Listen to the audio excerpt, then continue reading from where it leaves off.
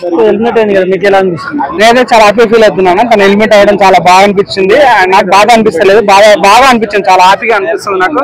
ఉన్నాను కదా బిగ్ బాస్లో ఒక నిజంగా వరస్ట్ క్యాండిడేట్ అంటే గేమ్ ఆడకుండా జస్ట్ ఒక సింపతి కార్డ్తో పాటుతో ఒక విక్టిమ్ కార్డ్తో పాటు అంటే గ్రూప్తో పాటు తను ఎన్నో బిగ్ బాస్ నెట్టుకుంటూ వచ్చింది.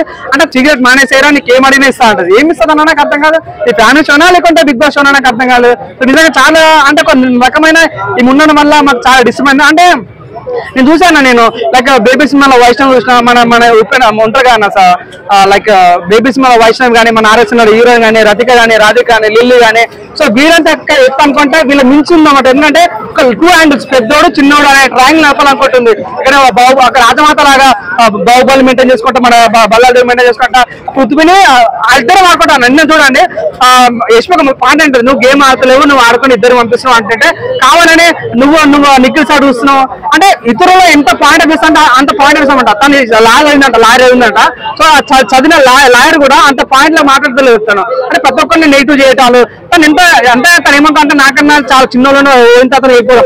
ఇంకోసారి ఒక మాట నాన్న అరే ఈ టూ వీక్స్ అయితే అందరూ మనకు పడే అంతా వెళ్ళిపోతారా మనకి ఏం మంచిగా ఆడుకో ఆడుకోవచ్చు అన్న సో నిజంగా ప్రజలు చాలా సీరియస్ తీసుకోరన్న ఆదిత్య అయితే నువ్వు వెళ్ళిపోవాలి డైరెక్ట్ అన్న ఇది బిగ్ బాస్ నాకు అర్థం కాదు. ప్రజలకు ఆడిపోయడం ప్రజలకు నచ్చలేదు. So anyway big boss.